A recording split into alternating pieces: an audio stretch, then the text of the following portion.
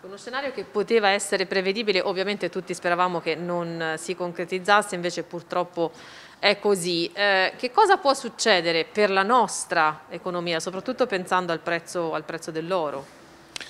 È uno scenario, quello che è successo con l'invasione della Russia dell'Ucraina, ha sostanzialmente eh, in qualche modo messo in crisi sicuramente la sicurezza del, degli approvvigionamenti energetici, ma dal punto di vista del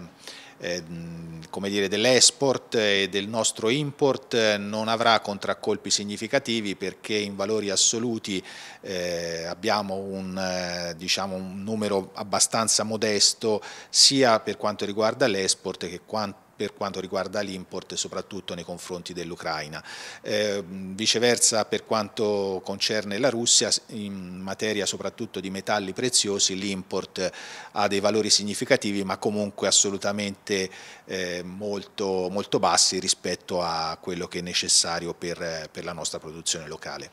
Ecco, quindi secondo lei per l'approvvigionamento appunto della materia prima, dell'oro in particolar modo, non ci dovrebbero essere contraccolpi importanti ci si dovrà riferire ad altri mercati ovviamente. Non è detto, adesso vediamo come verranno implementate queste sanzioni che sappiamo sicuramente ci saranno e in che termini poi andranno a colpire ovviamente i singoli materiali. Eh, certamente per quello che riguarda l'import eh, um, sarà necessario pensare anche dei piani alternativi perché comunque eh, già oggi una buona parte, una buona fetta del, dell'approvvigionamento dei materiali, in particolar modo del, dell'oro, eh, sostanzialmente viene sicuramente fuori, fuori dalla Russia e dalla Ucraina anche se ovviamente ci sono valori significativi, ma ripeto in termini assoluti assolutamente eh, poco, poco rilevanti. L'ha toccato lei in apertura di questa intervista, il problema ovviamente del caro energia era, era un problema già grave prima, adesso potrebbe aggravarsi secondo lei sì o no e che termometro ci può dare insomma, rispetto, da, dal vostro punto di vista rispetto alle, alle aziende soprattutto?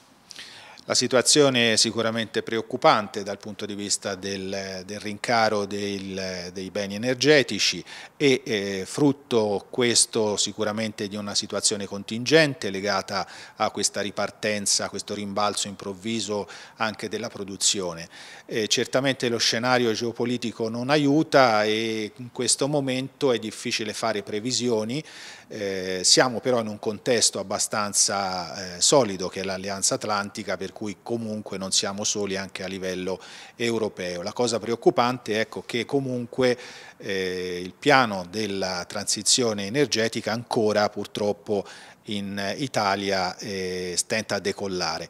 Eh, ragion per cui bisogna cercare di spingere ancora sul, sul piano di eh, resilienza ripresa e resilienza perché comunque una ripartenza anche sulle rinnovabili, sul green, sulla transizione energetica a questo punto diventa irrinunciabile e improrogabile.